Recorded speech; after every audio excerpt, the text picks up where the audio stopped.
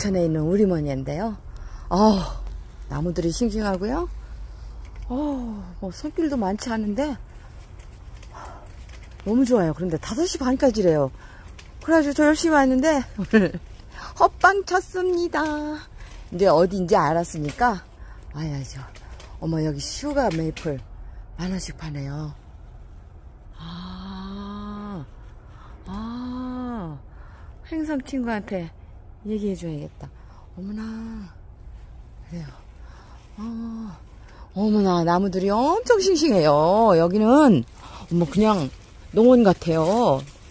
어, 기르기 위한 목적같이 너무 싱싱해요. 어머나, 이걸 몰랐어요. 10년이 넘도록. 아, 오늘 구경하고 가라 하시니까 너무 감사하네요. 핑크 아나벨 저 이걸 심었어요. 겨울에 죽은 줄 알았더니 살아서 나오잖아요. 얼마나 반갑던지. 네가 핑크 아나벨. 얘는 당연히 살아서 나왔고요. 아, 이제 준베리를 찾을 겁니다.